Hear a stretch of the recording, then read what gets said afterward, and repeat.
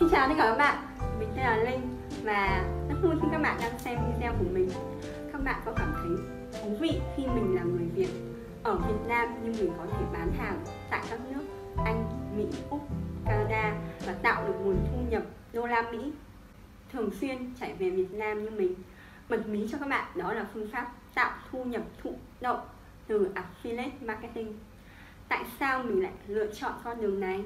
Như bao nhiêu người khác, mình là một nhân viên văn phòng làm việc 8 tiếng, thậm chí 12 13 tiếng một ngày với những công việc lặp đi lặp lại và tạo được nguồn thu nhập gần như cố định.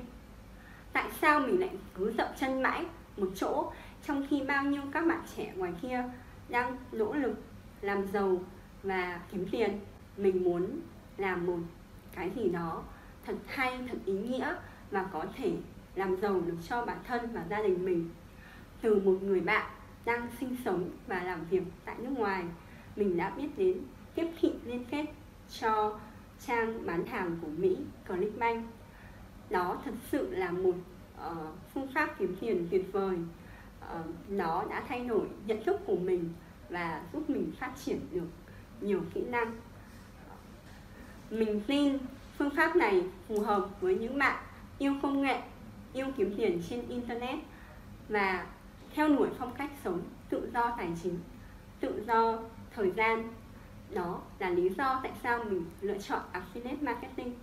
Cảm ơn các bạn đã lắng nghe, chia sẻ của mình. Xin chào và hẹn gặp lại các bạn.